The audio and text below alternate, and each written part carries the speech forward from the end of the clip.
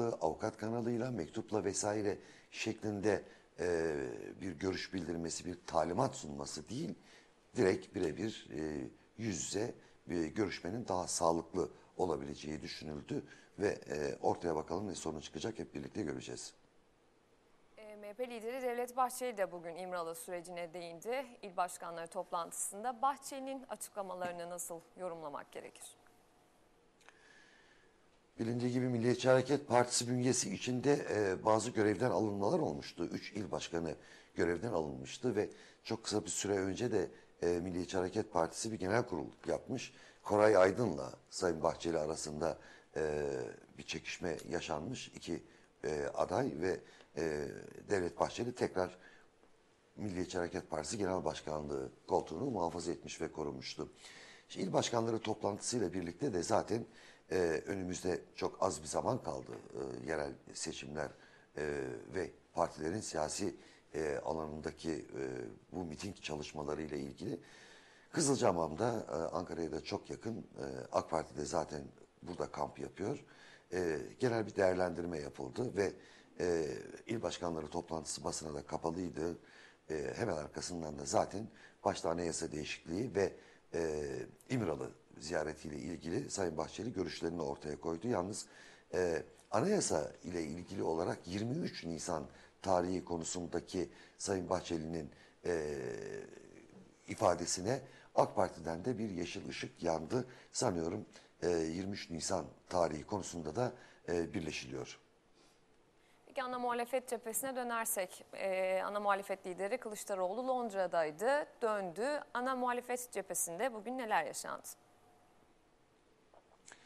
E, Cumhuriyet Halk Partisi Genel Başkanı Kemal Kılıçdaroğlu Çin hemen arkasından İngiltere e, İşçi Partisi'nin daveti üzerine gitti.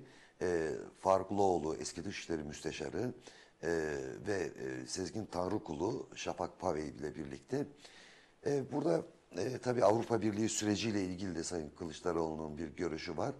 Avrupa'da sol iktidara geldiği takdirde Türkiye Avrupa Birliği'ne giriş süreci daha hızlanacaktır şeklinde bir demeci oldu. Biraz önce de dinledik. Eski Cumhuriyet Halk Partisi Genel Başkanı Deniz Baykal'ın konuşmasının da çok beğendiğini, bütünleyici olduğunu ve yararlı olduğunu ifade etti. Tabii Cumhuriyet Halk Partisi'nin içinde sular kolay kolay durulmaz.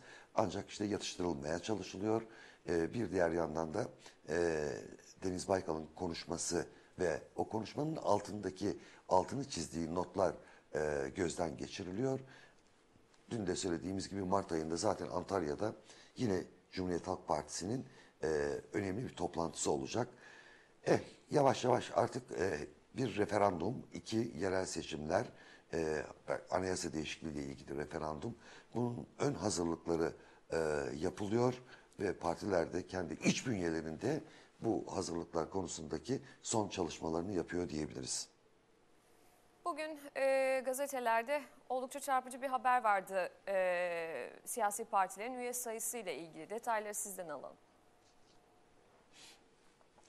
Tabii e, Yargıtay Cumhuriyet Başsavcılığında siyasi partilerin genel bir e, bütçeden tutun da e, üye sayısına kadar e, rakamları var.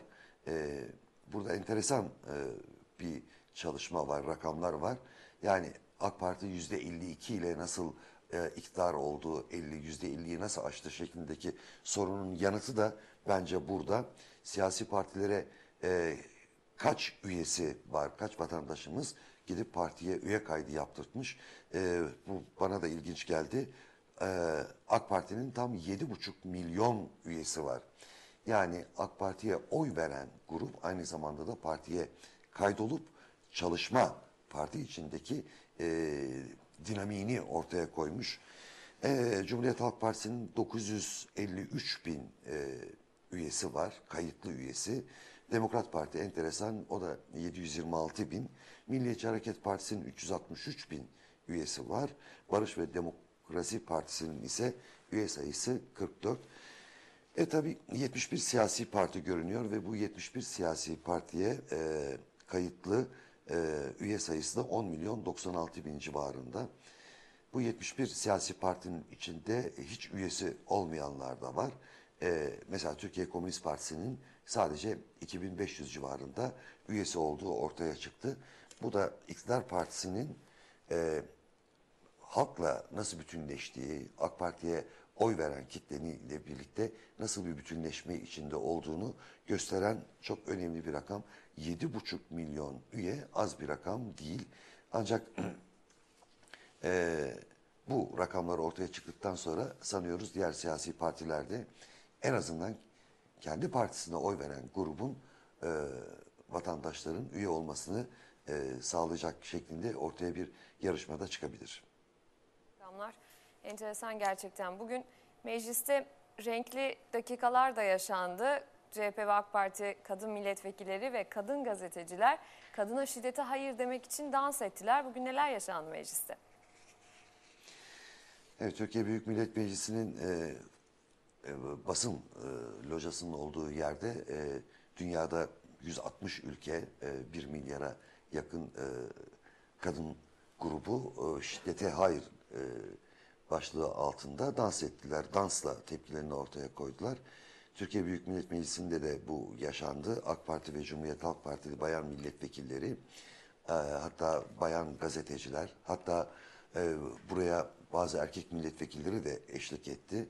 E, dans ettiler, e, halay çektiler ve dünyadaki bu bir milyarlık bir kadın potansiyelinin eylemine ayak uydurdular. Aynı şekilde e, Aile Bakanı Sayın Fatma Şahin'in de Brüksel'deki çalışmaları sırasında dans ettiğini biliyoruz. Dolayısıyla kadına şiddet e, kampanyası konusunda parlamenterlerimiz, bayan parlamenterlerimiz de bayan gazetecilerle birlikte ortak bu eyleme katkıda bulundular. Umarız eylem yerini bulur diyelim ve bugün aktardığınız haberler için çok teşekkür ederim size. İyi akşamlar. İyi akşamlar, iyi akşamlar. Bugün 14 Şubat Sevgililer Günü. Bu özel günde dünyanın hemen her köşesinde aşk var. Peki Türkiye'de çiftler bugünü nasıl değerlendiriyor? TVM Haber Ankara muhabiri Ayça Kabakçı vatandaşın Sevgililer Günü planını sordu. İzliyoruz. Sevgililer gününe özel bir planınız var mı? Vallahi var. Tabii sevgililer günü özel planım ama şimdi eşimin yanına açıklamak istemiyorum. Peki sizin eşinizden beklentileriniz? Ne bekliyorum ki? Sağlık saat Sağlık sıhhat. Huzur. Yok herhangi bir hazırlığım yok. Zaten barmenim ben sadece hizmet ediyorum şu anda. Normal bir gün benim için sıradan bir gün. Ama sevgim için öyle değil herhalde. Sevgili olduktan sonra her günde sevgililer günüdür bence. Hani sizin gibi gençken belki olabilirdi ama artık belirli bir yaşa geldik. Ha, Ama tabii sevgililer günü e, gençler için, sizler için güzel. Belki kan tahlillerimizin sonucunu alırız.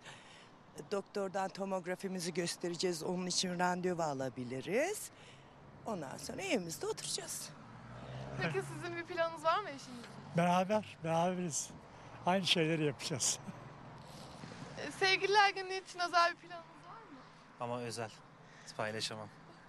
O Peki derece. sizin hazırladığınız bir plan var mı? Yani evet elbette var. Karşılıklı diyor. Evet. Ama benim ondan haberim yok, onun da benden haberi yok. Henüz öyle. Bilinmiyor. Valla nişanlı olduğum için şu anda nişanlanma bir planım var. Peki nasıl bir plan hazır? Onun iş durumu, o geç çıktığı ona göre plan yapacağız. Yani bir demet çiçek yeterliydi. Bir demet çiçek yetmezdi yani bana. Peki sen ne yapacaktın? Ee, yani olsaydı. Karşılıklı. E, vallahi onu e, benden manevi şeylere değer veriyorum ya. Hani e, maddi olarak değil de manevi olarak hediye hazırlardım bir şeyler yapardım yani. Bayanlardan da erkekler adına son zamanlarda sipariş alıyoruz, çiçek götürüyoruz. Ve bu bayağı bu trend yükseldi. Çok da hoşumuza gidiyor çünkü sadece erkeklerin e, bayanlara çiçek göndermesi değil, bayanların da erkeklere çiçek göndermesi tabii ki hoş bir şey. Sevgililer günü ne yapacağım abla? Ne yapacaksın işte ben de onu soruyorum. Sevgilime bir hediye alacağım abla, başka ne Ne yapacağım? düşünüyorsun peki ne almayı? Ne düşünüyorum? Bir tane altın kolye. Sevgililer gününe özel bir planınız var mı? Hayır yok çünkü sevgilim yok. 14 Şubat'ın Sevgililer Günü dışında dünya için bir önemi daha var. Bugün klonlanan ilk koyun Dolly'nin 10. ölüm yıl dönümü. In 1997, O bilim dünyasında devrim sayılabilecek bir çalışmanın ürünüydü. adult sheep. Tıp tarihinde bir yetişkinden alınan gövde hücresiyle klonlandı, 6 yıl yaşadı.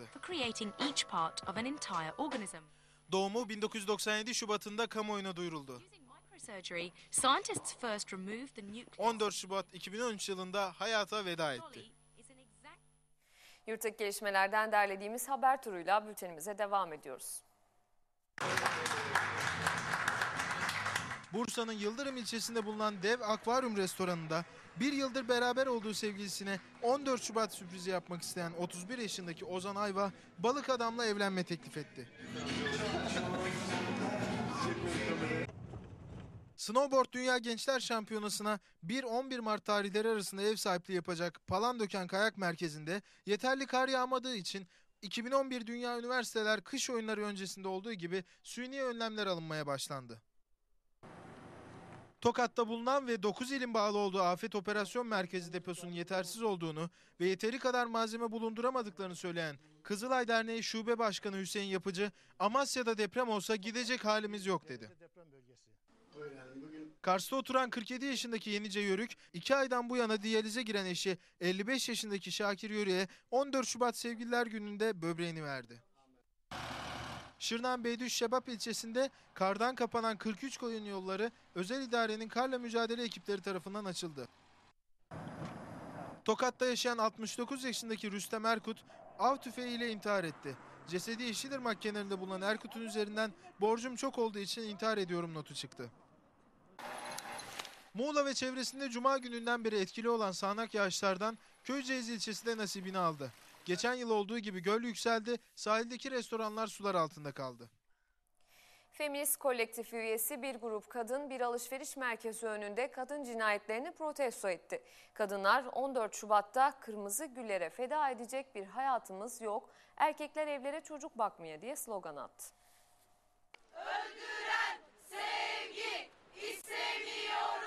Tüm dünyada 14 Şubat Sevgililer Günü büyük bir coşkuyla kutlanırken İstanbul'da bir grup kadın eylem yaptı.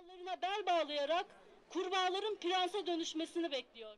Feminist kolektifi üyesi yaklaşık 50 kadın saat 19.30 sıralarında Şişli'deki bir alışveriş merkezi önünde bir araya geldi. Ellerinde erkeklerin sevgisi her gün 3 kadını öldürüyor. İşsiz olduğu için mi bu kadar öfkeli, kıskandığı için mi çalışmamı istemiyor dövizleri taşıyan kadınlar patriarkaya karşı feminist mücadele yazılı pankart açtı. Hükümeti kadın cinayetlerine karşı önlem almamakla suçlayan kadınlar 14 Şubat'ta kırmızı güllere feda edecek bir hayatımız yok. Erkekler evlere çocuk bakmaya, erkeklerin kölesi olmayacağız şeklinde bağırdılar. Eylemci kadınlar daha sonra basın açıklaması yaptı. Ama etrafımızdaki 18 kadını düşündüğümüzde gazetelere yansıyan haliyle sadece Ocak ayında erkekler tarafından 18 kadının öldürülmesinin ne anlama geldiğini bir nebze olsun anlayabiliriz belki. Kadınlar alışveriş merkezlerinden çıkan müşterilere içinde mor iğne, kürtajla ilgili broşürle rozetler bulunan hediye paketleri dağıttı. Kim dağıtıyor hediyeleri? Grup olaysız dağıldı. İstanbul Sarıyer'de korkunç bir cinayet işlendi. İki bina arasındaki boşlukta 10